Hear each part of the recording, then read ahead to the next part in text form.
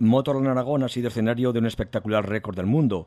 En la recta posterior del circuito alcanizano, el madrileño de origen británico Jan Farrell se ha convertido en el esquiador sobre asfalto más rápido del mundo al registrar una marca de 63,78 kilómetros a la hora.